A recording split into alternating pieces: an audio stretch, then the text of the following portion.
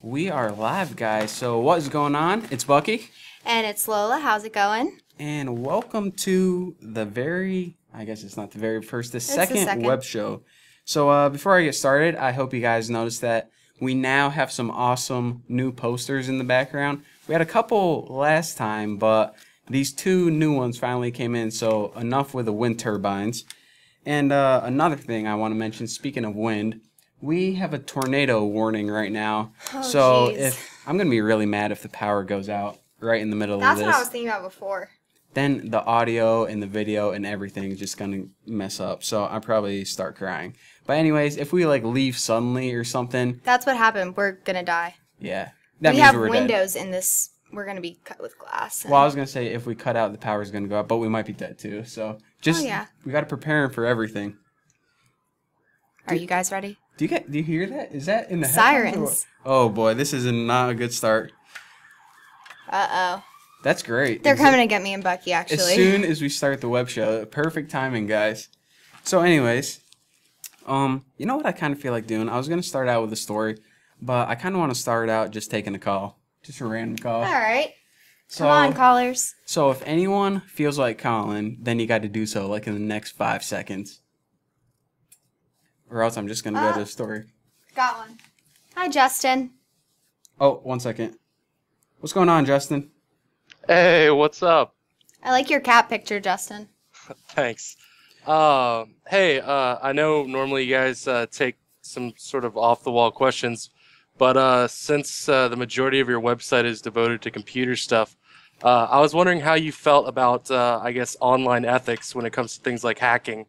Uh, do you think that we have the right to, uh, I guess, peer into the lives of government officials and stuff like that? Well, here's it. My, do you want to go ahead and take this one No, first? go ahead, Bucky. All right, here's the thing. My ideas on uh, hacking are uh, kind of weird because you say hacking, and whenever you say that, I'm thinking like, should you have the right to like hacking to other people's bank accounts and stuff? And when you look at it like that, I'm saying no, that's their personal stuff. Some people have the ability to do that, but you know that shouldn't be going on.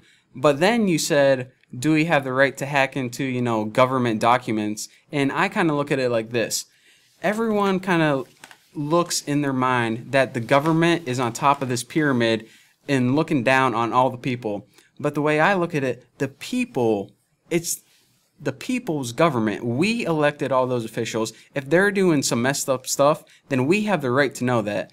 Some stuff like military secrets and, you know, stuff that can harm our country, like, I don't know, maybe the big raid on bin Laden or whatever, we shouldn't go ahead and, you know, spread all that over. But when the government is like doing crooked stuff, then yeah, go ahead. I don't want to say like hack them because, you know, this is going to be put on YouTube, but we you know, we elect the government. The government is there to protect us. So if it's doing something wrong, then uh, yeah, we need to fight back.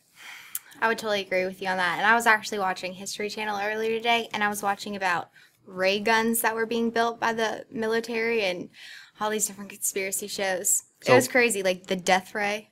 So uh, what's his Justin? Yeah, what's up? So Justin, what do you think about it? Uh, well, I mean, I kind of agree with you, uh, in all honesty, but I mean, like, I don't know. To me, I think I don't think I'm I'm a conspiracy theorist where I think like the government's out there trying to get us, or that they're trying. You know what I mean? Like, there there's no like evil force that's screwing us over, but I don't think that there's enough accountability uh, inside of the government just because of the ties. I mean, if you think oh about yeah, it, there's definitely not. if I mean if like for instance if you're at work and you got a buddy and you see him like take two bucks out of the cash register, you kind of don't report him because he's your buddy. I mean uh, you know you should and you know it's wrong, but you kind of just say ah two bucks. I think the same sorts of things happen in the government, and then you know you might do something wrong. It, so it just sort of builds on each other. I don't think that there's enough accountability. So I think when you have like hackers. Uh, that go in and you know come out with one gig of documents from uh, Yeah, defense yeah. contractors uh, showing that they're you know they're selling things like uh, drones like uh, you know manless drones to uh, government agencies that work in America. I mean you know what I mean? It's The government is full of crooked people. I am telling you. I will say Mm-hmm. this right now. The most crooked people are the most wealthy. I mean, I'll say this: They that's are. not They're the most powerful. the most the people who commit the most crime are the very very wealthy and the very very poor and it's kind of like this i'm, I'm kind of going off from your question now but now you got me talking whenever we elect government officials it's kind of like you know when people complain, oh, you voted for this guy. Why are you complaining that he, you know, we pretty much vote for representatives to make decisions for us. But it's not like you can go ahead and vote for anyone. You need a lot of money to run for government. So the only people that are ever going to get elected are very rich people already. And it's it's not like we can pick from a lineup of our ideal candidates. It's like we have a lineup of a couple rich douchebags that we have to pick That from. we really don't like, and none of us really want to vote anyways. But it's our patriotic duty to exactly. do so. And it's like we have to pick the most least douchebag who gets to rule over everyone, and that's the way it is because you can only run and get elected if you're rich already. So, uh, yeah, I'm kind of getting off from your question now, but I hope we answered it. That was a good question.